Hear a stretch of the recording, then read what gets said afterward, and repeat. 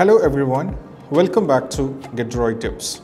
And in this video, I'm going to talk about how to fix Asus ROG Ally keyboard issue, which means it is not displaying on the setup or Wi-Fi when you're trying to connect the Wi-Fi. So most probably when you're trying to connect the Wi-Fi or when you're trying to do something, the keyboard is not displaying.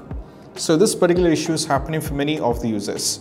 So if you go over here and click on the Wi-Fi over here, so whenever you are trying to get in touch with the Wi-Fi, so every single time when you're trying to do something, you're not able to get the Wi-Fi. So which means, uh, you know, you're having the issue with the Wi-Fi as well. And also if you're going to the start over here as well, when if you wanted to type something, the keyboard is not displaying and it is completely vanishing.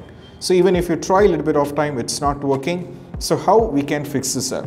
So the thing is, the solution is all about whenever you are having this particular issue, the keyboard is not displaying issue, not only for the Wi-Fi, for generally if you're having this particular issue, all you have to do is just press two macro buttons. The one is you can see over here, there is a D button at the top, the arrow, top arrow D button which you can see this is the button. So this is actually the D button but from here as you can see this particular button. So that is let me show you. You have to press this particular button which is in the top arrow.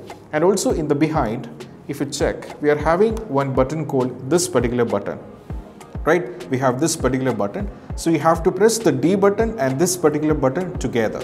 So if you press this particular button and together with the D button you will be having the keyboard option. So let me do like this so I'm going to press this particular button over here.